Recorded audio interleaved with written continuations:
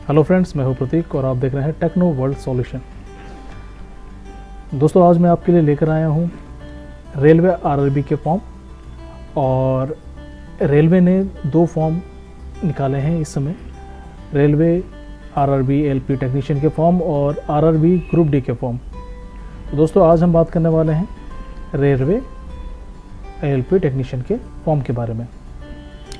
तो दोस्तों, यहाँ पर अभी आपको, आप लोग को पता ही है कि इस समय ये फॉर्म भरे जा रहे हैं और जो फॉर्म थे जो आपके, वो फरवरी से स्टार्ट हो चुके थे और इसकी लास्ट डेट जो थी आपकी पाँच मार्च थी।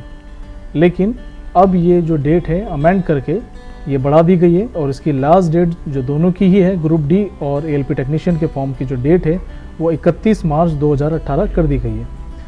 तो दोस्तों अगर अभी तक आपने हमारे चैनल को सब्सक्राइब नहीं किया तो कृपया करके हमारे चैनल को सब्सक्राइब कर लीजिए और बेल आइकन को दबा दीजिए ताकि हमारे जो वीडियोस हैं आपके पास आते रहें। तो दोस्तों, किसी भी फॉर्म को भरने से पहले मैंने आपको बताया है कि सबसे पहले हमें चेक करना चाहिए उसका एडवर्टीज़मेंट तो यहाँ हम लोग बात करेंगे जो एडवर्टीज़मेंट है, जो पहले की जो एडवर्टीज़मेंट थी, वो यहाँ पर है। इसका जो लिंक है मैं डिस्क्रिप्शन में शो कर दूँगा, आप वहाँ से देख लेना। इसमें जो डेट थी वो तीन दो दो हज़ार अट्ठारह से पाँच तीन दो हज़ार अठारह तक थी। और इसमें जो आपकी एज जो रेस्ट्रिक्शन थी वो 18 से 28 थी। और बाकी एस सी कैंडिडेट्स को पाँच ईयर की जो छूट मिल रही थी और ओ कैंडिडेट्स को तीन साल की छूट मिल रही थी। तो 18 से 28 थी। तो जो बच्चे, जो कैंडिडेट्स ये फॉर्म नहीं भर पा रहे थे, जो ओवर एज हो चुके थे, इसके हिसाब से उनके लिए एक सुनहरा मौका यह है कि अब वो फॉर्म भर सकते हैं। क्योंकि इसकी जो डेट है अमेंडमेंट के बाद वो बढ़ा दी गई है। दूसरा, ये है कि जो ये जो फॉर्म थे, जो पहले आए थे, ये आपके आईटीआई बेस्ड फॉर्म थे, कि आईटीआई वाले ही फॉर्म भर सकते हैं। लेकिन अब अमेंडमेंट के बाद इस आई का जो क्वालिफिकेशन है, इसे हटा दिए गए आईटीआई वालों के साथ साथ जो है, आपके टेन प्लस टू वाले भी इसे भर सकते हैं। तो अगर हम लोग इसकी रिवाइज्ड जो है आपका नोटिफिकेशन देखेंगे तो यहाँ पर जो आपका आ रहा है, वो जो डेट और टाइम है, वो है आपकी thirty first three two thousand eighteen और twenty three point five nine यानी कि रात के बारह बजे से पहले पहले आप ये कर सकते हैं। और एज जो है वो बढ़ चुकी है, आप वो यहाँ पर चेक कर सकते हैं। यहाँ पे आपको दिख ही रहा होगा।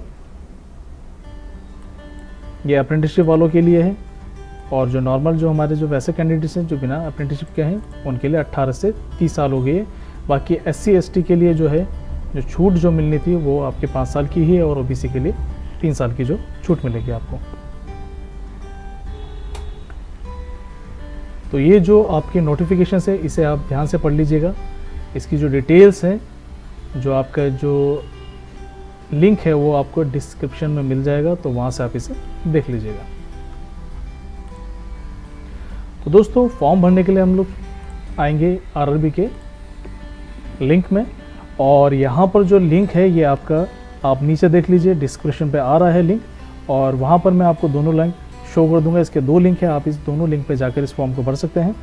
और यहाँ पर आपको नज़र आ रहा है कि जो डिटेल्स हैं, वो है आपको opening date three two two और क्लोजिंग डेट जो है thirty first three two thousand eighteen यहाँ से आप जिस स्टेट में रहते हैं, वहाँ वो स्टेट आपने सेलेक्ट करना है।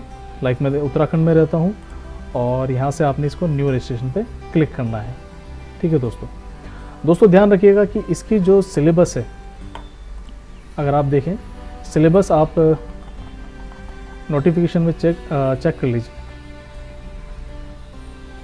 जो इसका फ़र्स्ट स्टेज है, यानी कि दो स्टेजों में ये आपका फॉर्म होना है, इसमें जो फ़र्स्ट स्टेज है, ये दोनों ही कंप्यूटर बेस्ड टेस्ट होने हैं आपके। तो जो सी लिखा हुआ कंप्यूटर बेस्ड टेस्ट है ड्यूरेशन इसकी 60 मिनट की होगी, यानी कि 60 मिनट, एक घंटे की, और क्वेश्चंस होंगे आपके 75 इसमें मिनिमम परसेंट जो आप marks of eligibility in various categories जो आपको लेकर आना है मिनिमम परसेंटेज क्वालिफाई करने के लिए जनरल के लिए 40 परसेंट ओबीसी के लिए 30 थर्टी परसेंट एससी के लिए 30 परसेंट एस के लिए 25 परसेंट यहाँ पर शो कर रहा है। ठीक है? और यहाँ पर आप देख सकते हैं किस तरह का जो हमारा सिलेबस है वो क्या है। मैथमेटिक्स में हमारे पास क्या आने वाला है? Number system BODMAS decimal fractions C M S C F general intelligence और रीजनिंग में क्या आने वाला है? और जनरल साइंस में क्या आएगा? और जनरल अवेयरनेस में क्या आएगा? तो आपने जो तैयारी करनी है, इस सिलेबस के हिसाब से ही तैयारी करनी है। ठीक है दोस्तों? और यहाँ पर ये भी लिखा गया कि जो सेकंड स्टेज है, वो भी सीबीटी के थ्रू ही होगा। तो आप चेक कर सकते हैं, इसमें क्या क्या इन्फॉर्मेशन दी गई है। ये जो सीबीटी जो सेकंड स्टेज होगा, जो फ़र्स्ट स्टेज क्लियर कर लेंगे उनके लिए है यहाँ पर ड्यूरेशन 90 मिनट और नंबर ऑफ़ क्वेश्चन जो है 100 है। सेम यहाँ पर आपका जो सिलेबस है वो नज़र आ रहा है तो आप इसे देख लीजिएगा। ठीक है? ये पार्ट ए और पार्ट बी में होना है। इस फॉर्म के रिगार्डिंग क्वेश्चन पेपर्स और तैयारी करने के लिए जो मटेरियल चाहिए, वो मैं आपको नेक्स्ट वीडियो में अवेलेबल करवा दूँगा। और जो बुक्स हैं, उसी का जो है मटेरियल वगैरह मैं आपको इसमें शो कर दूँगा। तो क्वेश्चन पेपर प्लस जो मटेरियल है वो आप नेक्स्ट वीडियो में देख सकते हैं और उसे डाउनलोड करके आप उसे तैयारी कर सकते हैं। तो दोस्तों, यहाँ पर हम लोग को न्यू रजिस्ट्रेशन पे क्लिक करना है।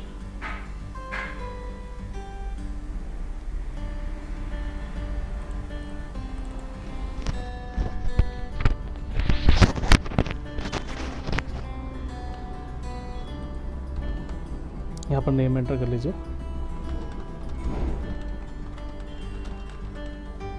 नेट ऊपर डाल दीजिए।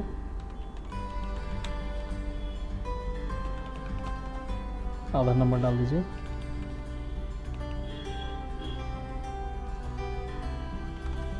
फादर नेम डाल दीजिए।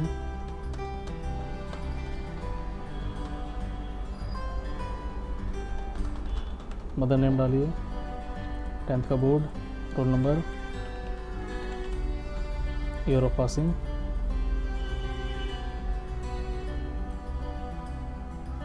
Mobile number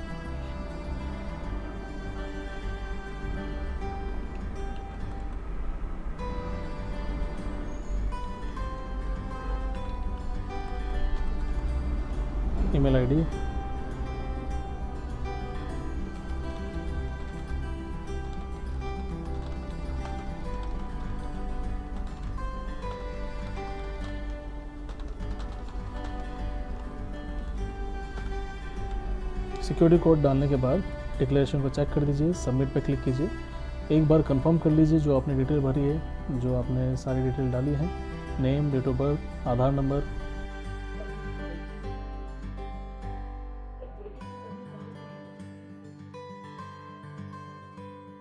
तो दोस्तों, देखिए यहाँ पर रजिस्ट्रेशन सक्सेसफुल हो गया है। जो आपका रजिस्ट्रेशन नंबर और पासवर्ड जो मिला है, इसे आप लिख लीजिए। और इसका मैसेज जो है आपके पास मेल भी आ जाएगा और मोबाइल में मैसेज भी आ जाएगा।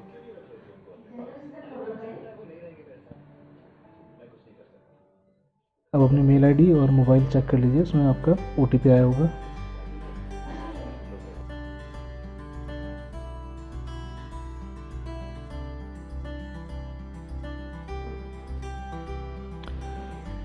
तो जो ईमेल में ओ आया है और मोबाइल में जो ओटीपी आया है, वो आपने यहाँ पर एंटर करना है।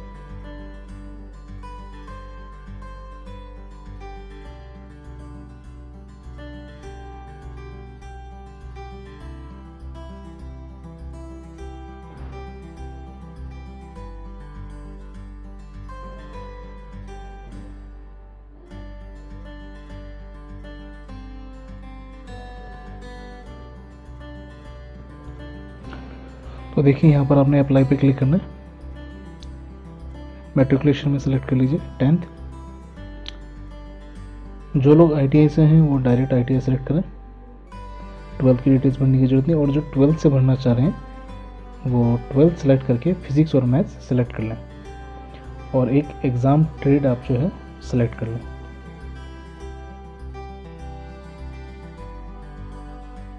यहाँ पर कैटेगरी सेलेक्ट कर लीजिए। स्टेट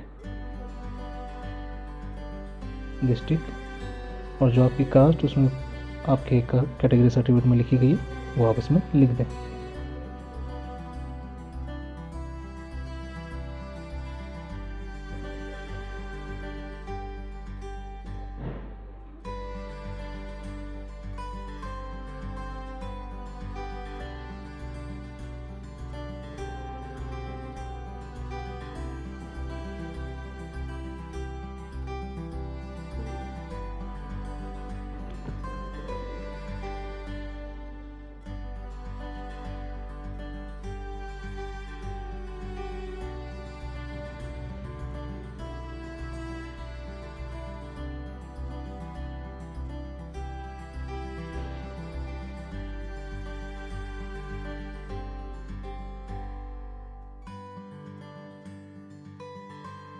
जेंडर सेलेक्ट कीजिए रिलीजन सेलेक्ट कीजिए। पी डब्ल्यू डी है या एक्सर्विसमैन है तो यस कीजिए अप्रेंटिसशिप किया तो यस कीजिए अदरवाइज़ जिसने नहीं की है वो नो करते जाएँ। सिक्योरिटी कोड एंटर करें और सबमिट कर दें।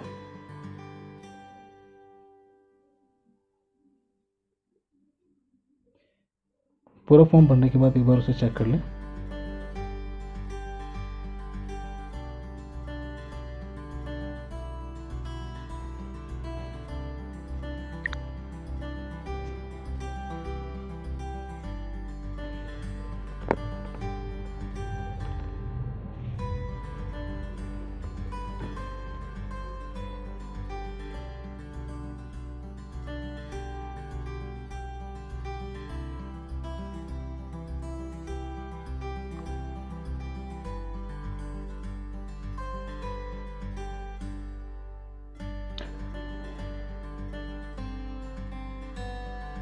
अगर आपने अप्रेंटिसशिप की है तो अप्रेंटिसशिप का पीरियड लिख दें। किस डेट से और किस डेट तक आपने किया है। और अगर आपने नहीं किया, नहीं डालना चाहते हैं तो आप इसे नो कर सकते हैं।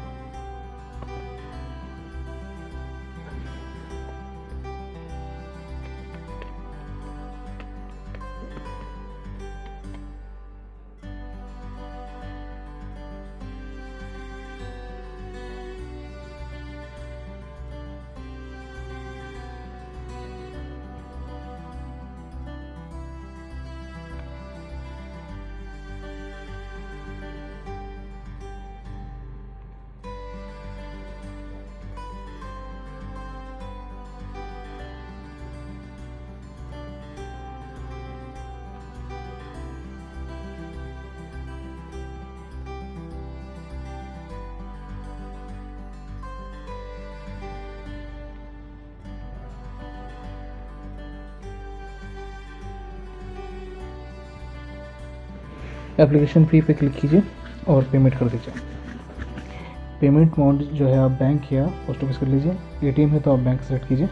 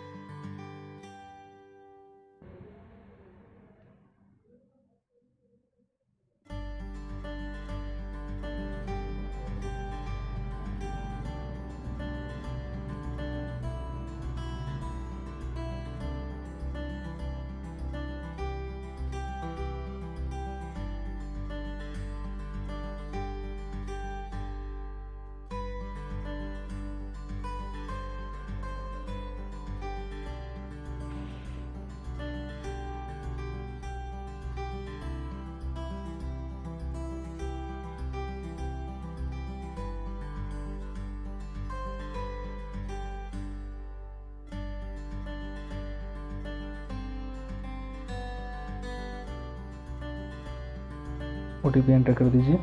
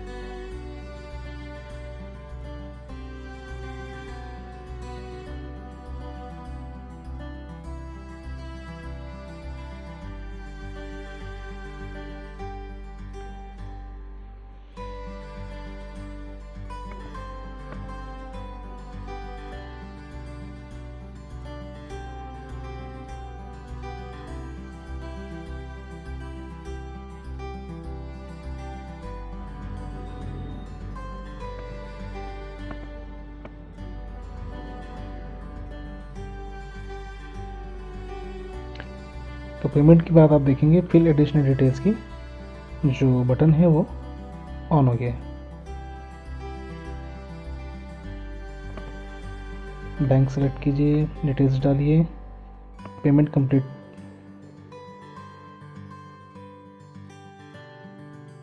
होते ही आप उसे सेलेक्ट कर लीजिए।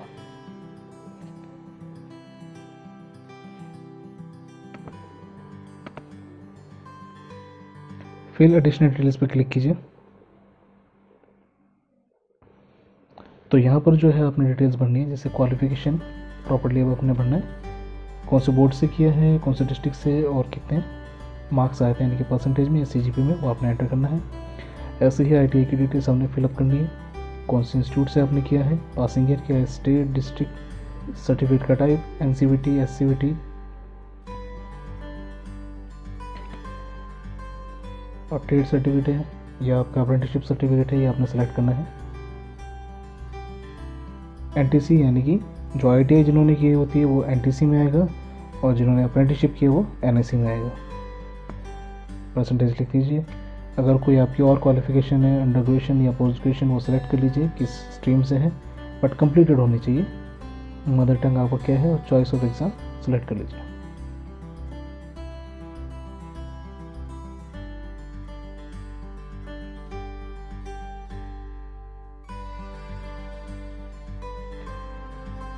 और अगर फ्री ट्रेवल अथॉरिटी आप लेना चाहते हैं सेकंड क्लास रेलवे पास जो कि एस सी कैटेगरी के लिए अवेलेबल है। तो यहाँ पर आपको अपना कैटेगरी सर्टिफिकेट नंबर डालना है date of issue issued by place of issue ये सब डिटेल्स आपने यहाँ पर फिलअप करनी है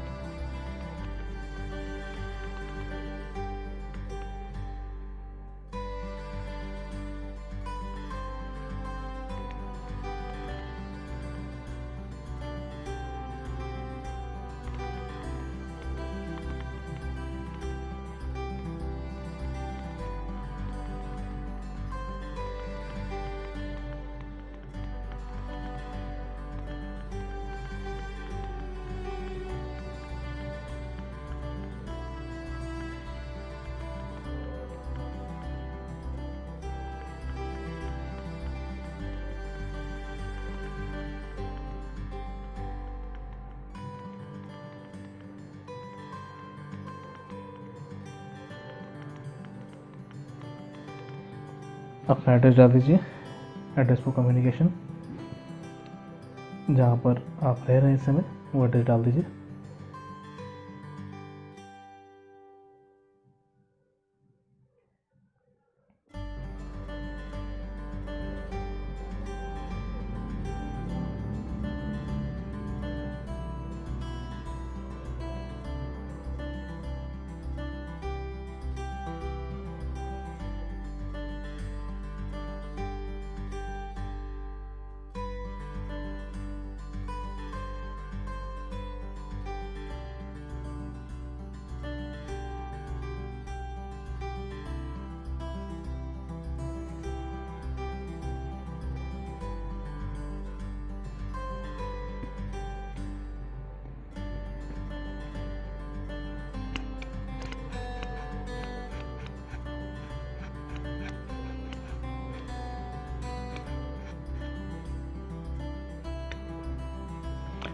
और दोस्तों, यहाँ पर अपने बैंक अकाउंट की डिटेल डाल दीजिए, जिसमें कि जो आपको रिफ़ंड मिलना है।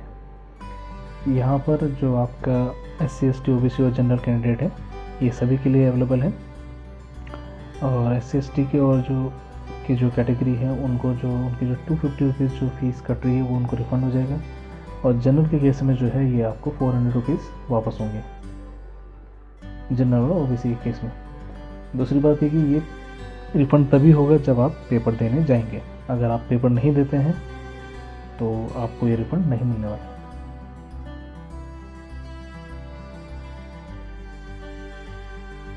सिक्योरिटी को डालिए।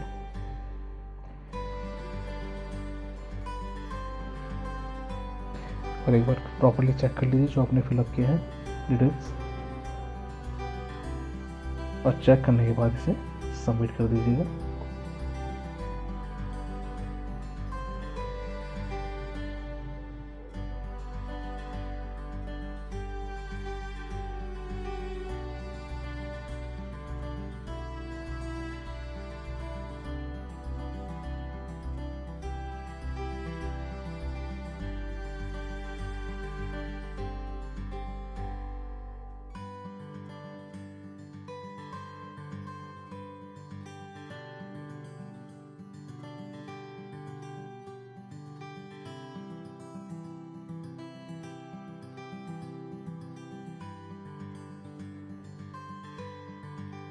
तो देखिए यहाँ पर आप लोग को फ़ोटो अपलोड करनी है और अपना जो कास्ट सर्टिफिकेट है वो अपलोड करना है। जो जनरल कैंडिडेट है, उनको खाली ही सिर्फ़ अपना एक फ़ोटोग्राफ अपलोड करना होगा और फ़ोटोग्राफ में ध्यान रखिएगा कि जो आपका नाम है और जब आपने फ़ोटो खींची है, ये डेट आपने ज़रूर डालनी है। यानी कि करंट की कोई भी डेट आप डाल सकते हैं, अगर आपके पास कोई भी फ़ोटो है तो। एडिट करके इसमें फ़ोटो पे नाम और जो डेट है, वो ज़रूर डाल देना है।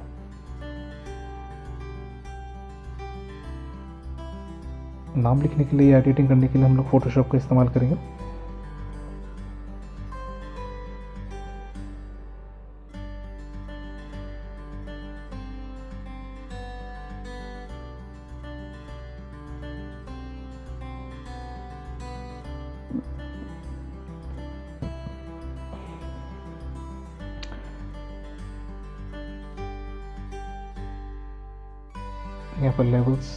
ओपन किया है और थोड़ा सा फ़ोटो को ठीक कर रहे हैं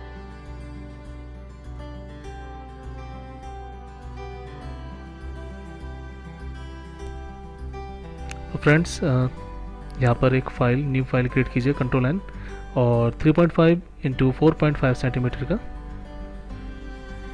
एक फ़ाइल क्रिएट कर लीजिए। और जो आपकी फ़ोटोग्राफ है, उसे ड्रैग करके उस फ़ाइल में ले आइए। कंट्रोल टी प्रेस करके आप इसे पूरा ड्रैग कर लीजिए। इसके बाद मूव टूल सेलेक्ट कीजिए और न्यू लेयर आप इंसर्ट कर दीजिए। मार्केट टूल सेलेक्ट करने के बाद आप कंट्रोल बैक स्पेस से वाइट कलर फिल कर दीजिए और फिर टेक्स्ट टूल लेकर आप यहाँ पे अपना नाम लिख दीजिए। जो प्रोसेस आपको दिखाया जा रहा है फोटोशॉप में, आप वैसे ही फॉलो करके अपने नाम को एडिट अपना नाम जो लिख सकते हैं और जो डेट है जो आपने फ़ोटो खींची है वो डेट आपने यहाँ पर लिखनी है, ना कि आप डेट ऑफ़ बर्थ डालेंगे। अपनी डेट ऑफ़ बर्थ आपने नहीं डालनी है। और जो लोग नाम और आपकी जो डेट है खींचने की फ़ोटो की, वो नहीं डालेंगे तो ये फॉर्म जो है आपका रिजेक्ट हो जाएगा। और जो लोग ऐसा नहीं कर पा रहे हैं एडिट नहीं कर पा रहे हैं, वो हमारी मेल पर हम लोग को अपने फ़ोटोग्राफ सेंड कर सकते हैं।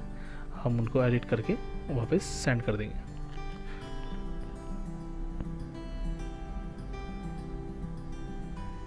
तो यहाँ पर हमने डेट लिख दिया। इसे सेव कर लीजिए।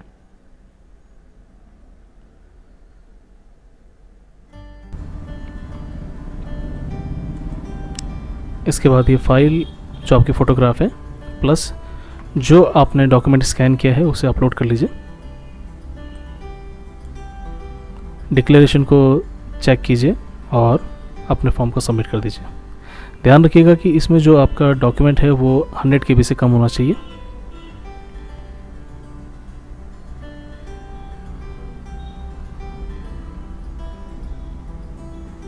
और दोस्तों, जिन्होंने पेमेंट की है और उनकी पेमेंट कट चुकी है एक बार, और अगर वो रिफ़ंड नहीं हुआ है, उसी समय या वो आपका चढ़ा नहीं है तो थोड़ा वेट कीजिए 24 आवर्स का वेट कीजिए।